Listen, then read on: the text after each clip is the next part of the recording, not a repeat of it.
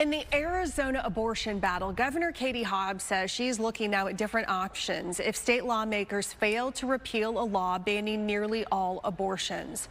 This week, the state Supreme Court upheld an 1864 law that makes it a felony for a doctor to perform an abortion, except if the mother's life is at risk. There are also no exceptions for rape or incest. On Wednesday, there was an attempt to force a vote to repeal the old law that came about when Arizona was a territory, not a state. But Republicans instead voted to recess.